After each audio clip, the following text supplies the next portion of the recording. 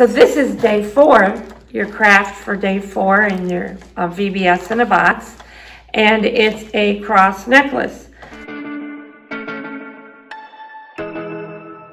There's many ways you can do it because each one of us are different. But if you can find some container around home, ask your mom for just a container to just use. It can be a cup or anything. And you can go ahead and pour your stuff into the cup. That way your beads aren't going everywhere. So then you can make your own pattern of beads and you put them on there. And then Becca's beads over here are a little bit smaller and more challenging. So sometimes she has to, well, good job, Becca. She says it's challenging. Sometimes she has to cut the end off if it frays too much. Um, Diane has bigger beads here. Do you want me to do this side? Yes, that would be wonderful. We can do it as friends. What color would you like first? Um, how about green? Green, okay. See how that's frayed right here? If I just cut off a little bit of that and then twist it with something wet, then it can go through there. Sometimes you can even take something not dangerous, but a little pointy, a pencil or a toothpick, and you can get it to go in enough that you can pull it through.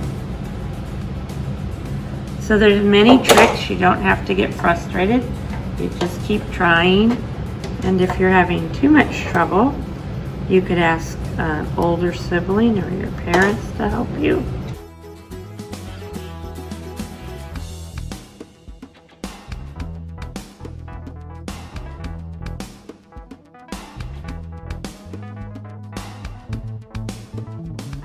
If y'all have beads lying around your house, you can also use those as well. I'm going to show you another way you can do your cross necklace.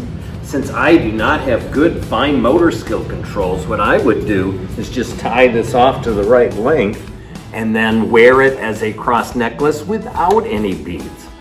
So that's my suggestion. These crosses were made by my father and then several other elders in our congregation, men, elder men that helped him. And they sanded them, some of them sanded them, some of them helped draw them out, cut them out. And it took many hours. I think they did like 170 of them. That's so many. That is. And when you get them in your box, you'll see how beautiful they really are. Okay, so there is several ways you can do your necklace. This one is harder, so um, some people get frustrated with it, but you stick the string through the bead. Sorry, these are fraying.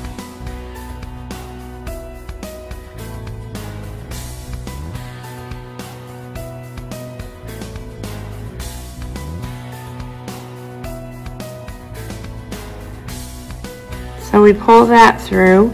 Then you have to try to get this one to go through the same bead.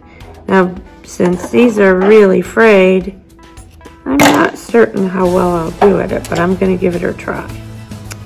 So if you can get both of these to go through the hole, then it's adjustable.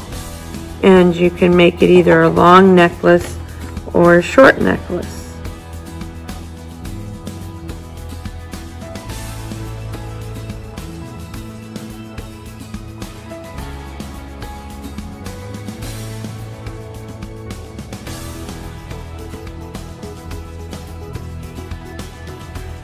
And then after you get them through, then you just tie them into a big knot on each side, and then it'll let you adjust it.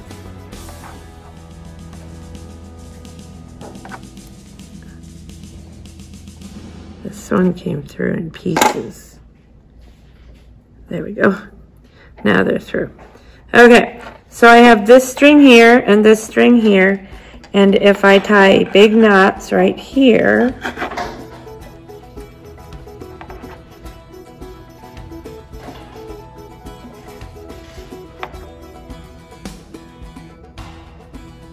And I don't think that's quite big enough, so I'm gonna make two.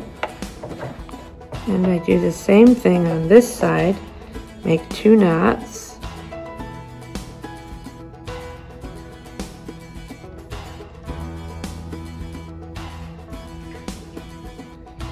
Here's one.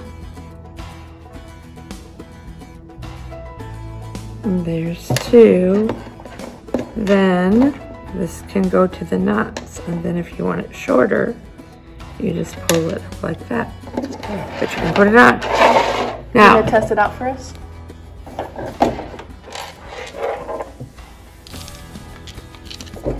so this is longer. Looks good with your dress too. And then I can make it shorter if I want to. There you go. depending on what. And if you have paint at home, you could paint them. I like wood, so I like to keep the look of the wood, but sometimes people like to paint on them. And if you don't have paint, but you have markers, you could use markers on them. And it would look really pretty. But you want something that's gonna follow the grain of the wood. So the way I'm gonna do this one is I hold the two strings together, so they're tight together. I wrap them around two of my fingers, and then I just pull this in here, and you pull it, and you have a tight knot. And that's not gonna go anywhere. And if you have your mom or somebody help you, you can make it as long or short as you want. This is our Beautiful. Becca. That's a perfect. And that is a And that's beautiful a perfect necklace. colors for her shirt too. And then the other way to- that you can tie is just the normal way that a lot of people tie their things and you just put it together like this. Like That. And then you put a knot. Kind of like when you're tying your shoes. And you can do that, but you have to pull to make sure it's not gonna slip. And that one's good. By the way, that one is mine, and if you watch St. John's YouTube worship services on Sunday, I'm gonna wear that on Sunday. So you can see that cross on Sunday morning. There, make sure it fits, otherwise I'll have to make it bigger. I have a big head, that is a problem. It even fit over my hat, so that is There you go, and it looks good on you, see? Of course. So there's different ways, and if you notice, um, Scott's and Diane's and Becca's, no three, none of them are alike. And that's because there's no one way to do it. It's just your necklace and you make it however you want. And don't get frustrated. If you start to get frustrated, ask an adult or an older person to help you. In Grace Race, Jesus won the prize for us. enjoy your necklaces.